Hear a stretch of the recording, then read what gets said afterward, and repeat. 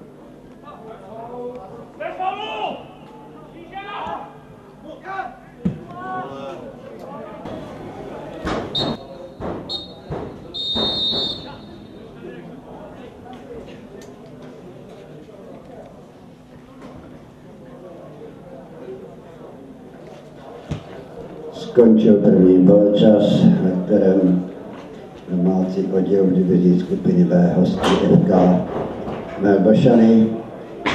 Utkání prvního poločasu skončilo výsledek 0.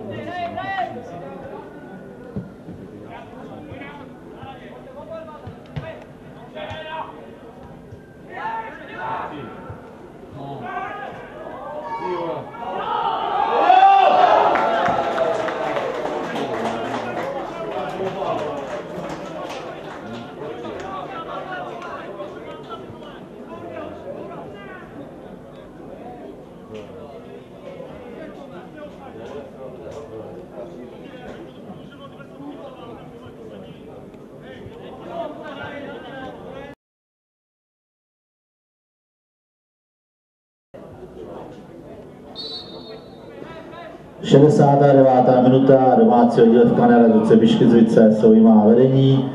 Branku střelil hráč číslem 7 Boudra Tomáš.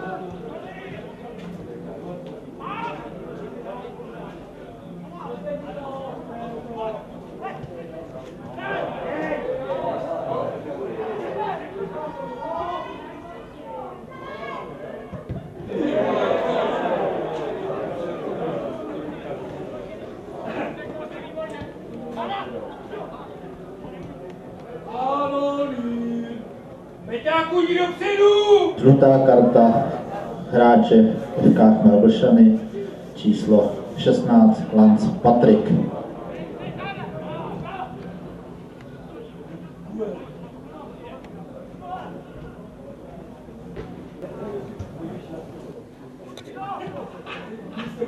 Měl teď